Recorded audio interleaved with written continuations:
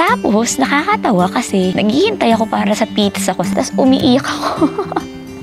Opportunities for us to enjoy sana together, especially yung mga gantong season. Those are things that make Christmas hard for me these days. If these things did not happen, then we would be in that stage and we would enjoy the Christmas season like that. We would be um, in beyond.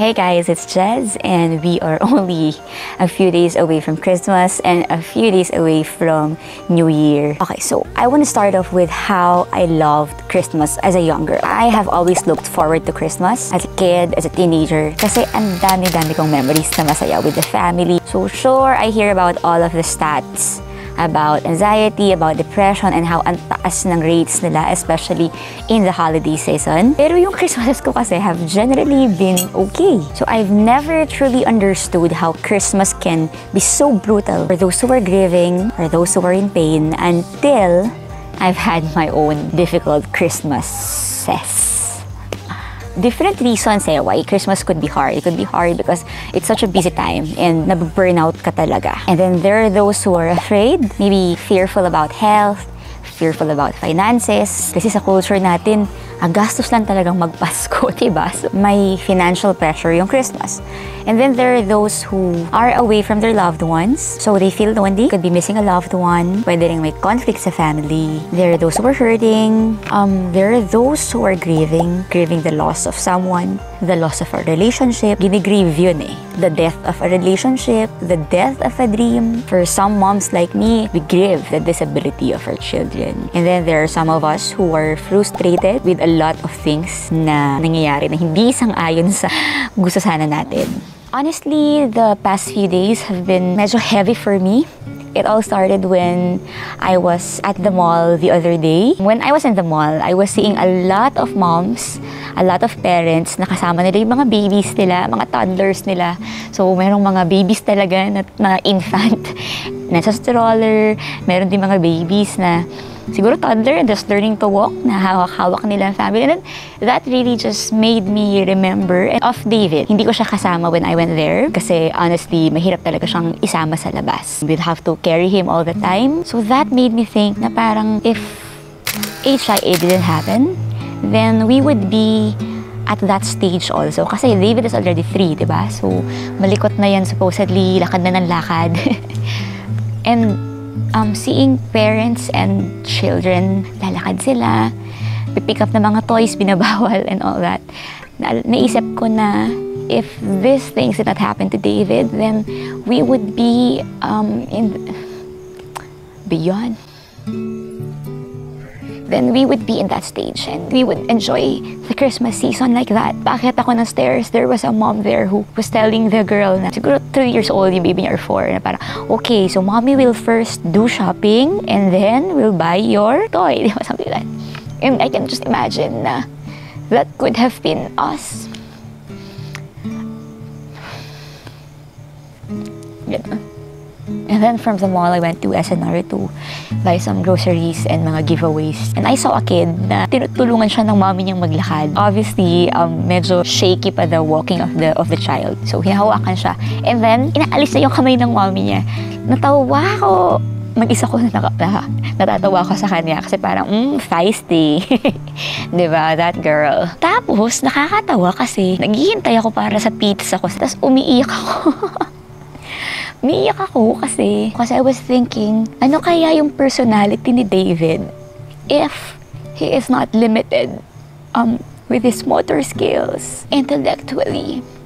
So, so I, I really just wondered what would have been of his personality kung makulit din ba siya ganun or feisty din or um, independent din, ayaw ba magpatulong ganun. So, those are things that make Christmas hard for me these days.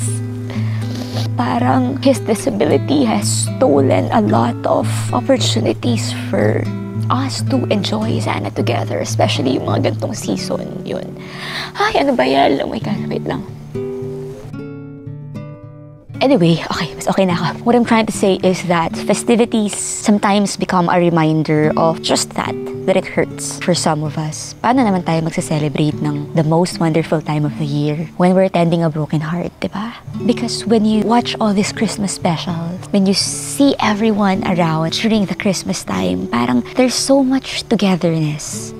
There's so much optimism, smiles, happiness. Sobrang saya lang. Sobrang makinang. Picture perfect. Parang may social pressure din na we're supposed to be super merry, super jolly during Christmas time. Pero yun nga eh, naha-highlight lang yung kalungkutan nung madami. And there are more people dealing with grief and loneliness this Christmas season than you could ever imagine. Most mental health practitioners would say it's okay to be not okay this Christmas, that we are to honor our losses, to acknowledge our pain, and I agree. And if I may, I'll just add na rin na if like me, in the past Christmases, mas marami yung luha kaysa tuwa. Uy, that rhymed. Two things. Number one, it gets better. It will not always feel like this, even if it doesn't feel like it. Parang forever na tong ganito na. It gets better. But second is, if your heart is tired, if your heart is hurting, if your heart is grieving on your Christmas time, my encouragement is, sana yung ganong pakiramdam natin will actually point us to the wonder of Christmas. Na this is exactly why Christ came. This is exactly why He came for us on that day that we celebrate during Christmas. Whatever the exact date is. Even if this holidays parang na-highlight our sadness, our loneliness, our pains, our brokenness, pwede natin siyang i-maximize eh. Na while na ma-magnify, na-highlight all of our difficulties, lalo ring ma-magnify, ma-highlight that this is exactly why Christ came. To bring light to our darkness. To save us from our brokenness. To save us from our loneliness. From our chaos. Kumbaga, yung darkness natin, yung brokenness natin na feel and highlight, especially this Christmas season, pwede niya ipakita sa atin exactly why we needed a savior, a redeemer to come for us. Ako, yung loneliness ko, yung grief that I experienced, it actually is pointing me to the truth that that's exactly why I need an Emmanuel, a God who is with me, a God who will not only look at me, a God who will not only encourage me from afar, but a God who is with me. And that is worth celebrating. So if wala kang masyadong makitang reasons for celebrating, then let those reasons be your reason for celebration. So ako, halimbawa, my son's broken body is one of the reasons why my Christmas is hard, is difficult. Then I will let that pain tell me that that is exactly why I need a God who gives hope. Why I need a God who will make all things new one day. A God who would come for me to save me and to give me that hope. Okay, so let me suggest some practical things to do to apply when Christmas is hard. One is, it's okay to be sad. Okay lang yon. Don't feel guilty if you're sad. Hindi ka KJ, hindi kayong Grinch. You're grieving. So allow yourself to feel your emotions. If like me, you prefer to somehow put up a brave face for others, it's okay to do that. But to lose accountability sa mga tao, sa ibang tao, and also give yourself enough time alone to help you process, to help you heal, to help you deal with your feelings. Number two is sana magawa nyo to. Kumain ka ng healthy na pagkain. Because, di ba, kulang ka nga sa liquids lang or hindi healthy yung mga pagkain mo. That can already negatively impact your mood, your emotions, di ba, your brain. Mahalaga naman to all year round. Pero especially this Christmas season lang na napakaraming hindi healthy food sa paligid. Because I know if I don't eat healthy, then that would negatively affect the chemicals in my brain as well, my mood, inflame yung brain ko. So, mahaba explanation na yun. Anyway, just eat healthy food, okay? Ang lamig na dito, guys. Sinisip ko na ako. Tapusin na natin tong vlog. And then, number three is to balance your time alone and with others. So, I know there's like a tendency to be on the extremes na puro mag-isa ka lang, i-isolate mo na yung sarili mo or puro nasa labas ka lang, nililibang mo yung sarili mo, etc. I mean, that's not bad, pero there has to be a balance. And fourth, last tip is to lower your expectations of the Christmas day. I know, especially, parang na-build up siya na September pa lang, lumalabas na si Jose Marichan, parang may high expectation that Christmas day is a magical day that would wipe away all our tears. So joyful, so fun. I mean, sure, the spiritual side is clear yon Pero I mean, yung just the day itself, yung December 25, na parang pagkigising mo, perfect yun hanggang wala. We're gonna we're gonna be disappointed and we're gonna feel empty if we have so much expectation of the day itself. Paano ko ba tatapusin ang vlog na to? You know, meron akong isang kantang gusto. Sample, sample. Sabi nung kanta, Ngunit kahit na anong mangyari, sapat nang si Jesus ang kasama mo. Gusto ko yun.